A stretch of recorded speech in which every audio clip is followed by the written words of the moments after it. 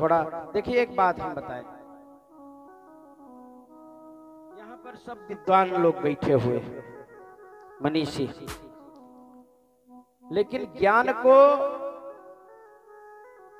जगाना पड़ता है। हमारे हनुमान जी जितना कोई ज्ञानी नहीं है महाराज।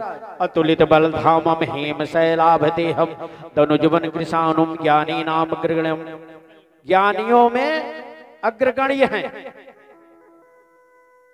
और बलशाली भी हैं।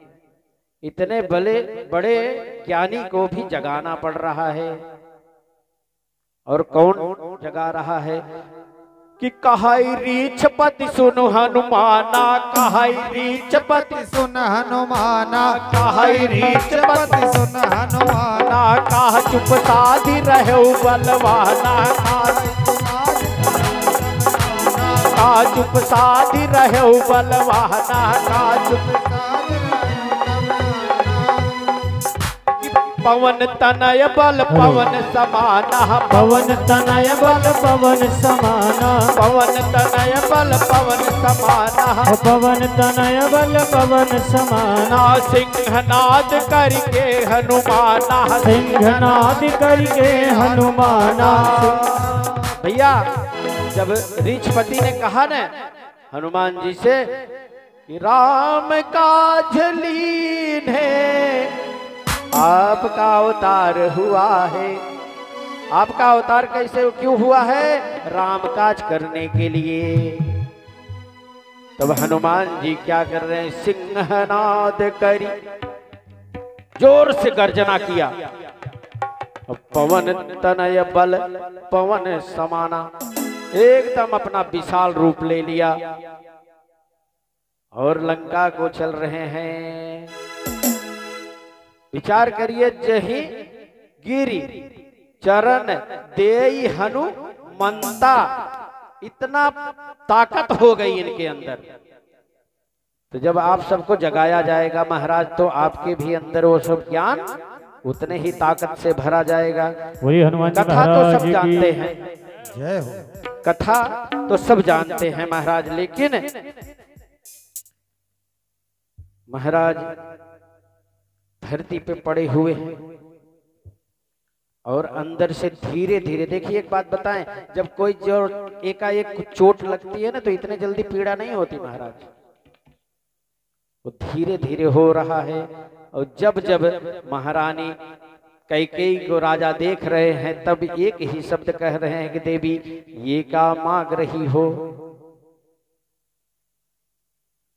तो मैया कहती हैं, सुमंत जी को बुलाया जाए, और सुमंत जी आते हैं, और सुमंत को आदेश देती है माँ कई कई, किया न हो राम ही बेगी बुलाई, और समाचार तब पूछ हुआई।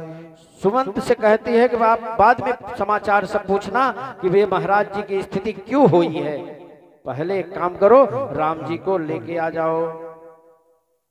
तू चले सुमंत राम रुख जानी और लख को चाल की भी कछुरानी रानी। और जैसे भगवान राम जी आते हैं पिताजी को उंधा पड़ा मूर्छित पड़ा देखा न तो उनका सर अपने गोद में ले लिया।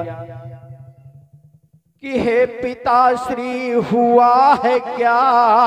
जय हो। वैसे तो मैं राधे श्याम नहीं गाता हूँ। लेकिन हमारे परम पूज्य आचार्य श्री बड़े भाई का आदेश था कि आप रामचरित रा, राधे श्याम को लेके चलिए। तो हम दो चार लाइन ज़रूर बोलेंगे कि हे पिताश्री, हुआ है क्या? क्यों तुमको मूर्छा आई है? या किसी रोग ने घेरा है? या कोई विपदा छाई है?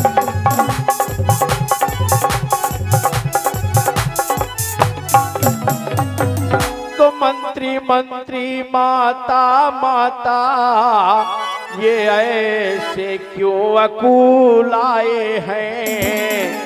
क्या मुझसे कुछ अपराध हुआ जो पिता श्री सारे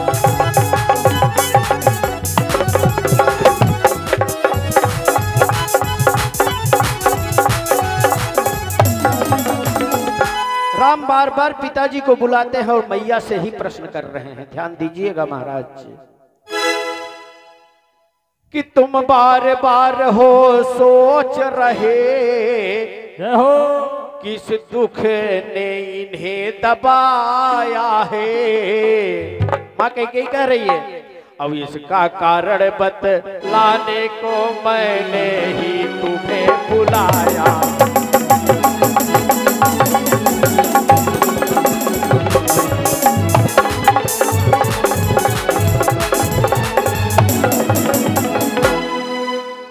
कहती है महाराज इसलिए हमने बुलाया है। रा, राम? बोलते मैया क्यों? बोलती बेटा इसलिए कि कुछ ध्यान तुम्हें तुमको इनका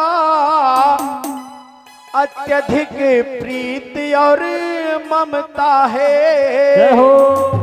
बस उसी मोह के चक्कर में इनकी हुई अवस्था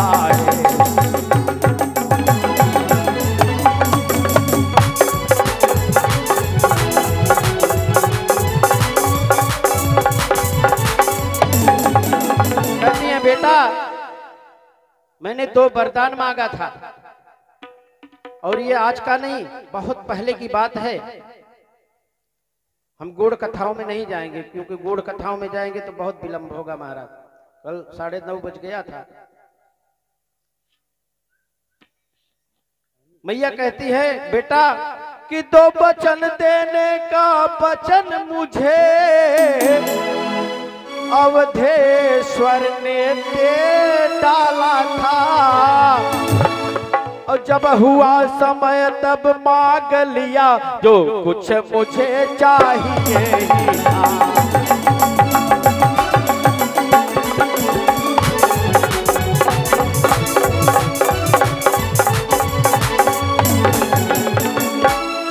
राम जी कहते हैं अच्छा जैसे जिस तर्ज में मैया ने सवाल जवाब किया, उसी तर्ज में, मेरे राम जी भी मैया से विनती करते हैं कि बड़ भागी वह बेटा है। वैसे हम रामचरित मानस से ही बोलते हैं, लेकिन हमारे परम पूज्य आचार्य श्री का आदेश हुआ बड़े भाई साहब का कि आप राम कथा में राधे श्याम गाइएगा ज़रूर।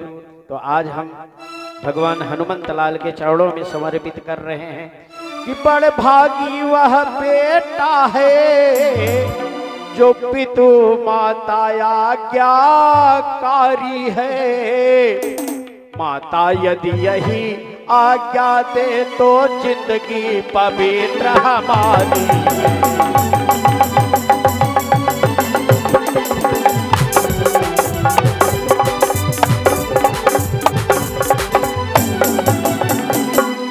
लाइन पे महाराज अगर आप सबको कथा और यह तर्ज अच्छी लग रही हो तो मेरे साथ भी गाइए और दोनों हाथ उठाइए। कि वह बड़ भागी बेटा है जो पितु माता आज्ञाकारी है। कितने आज्ञाकारी बेटे हैं यहाँ पे? और माता यदि यही आज्ञा दे तो ज़िंदगी पवित्र हमारी। हरि बोल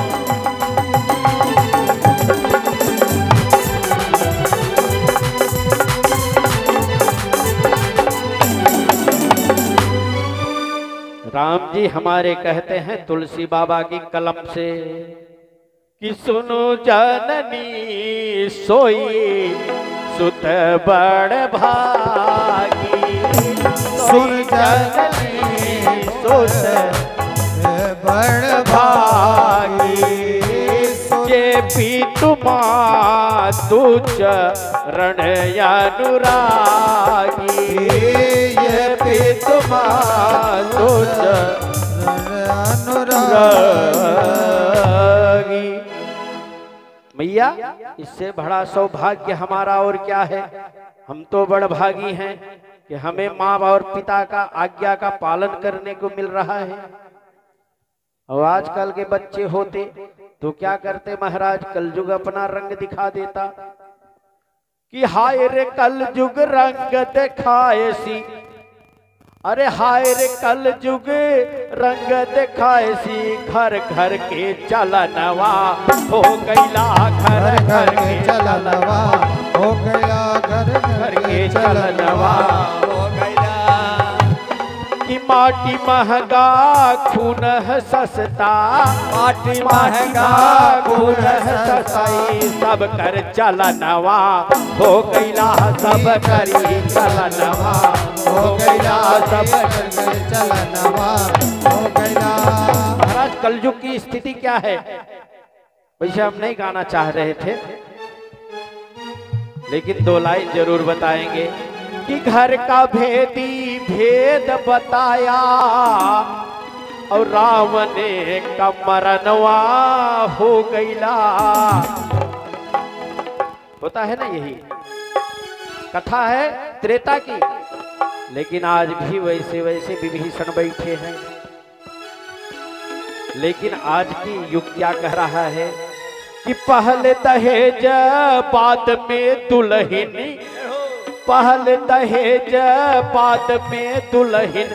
अस महगा सजनवा हो गैला अस महँगा सजनवा हो गैला अस महगा सजनवा हो गैला पहले दुल्हे पे में पहल पहले दहेज बात पे दुल्हन अस महँगा सजनवा। हो गई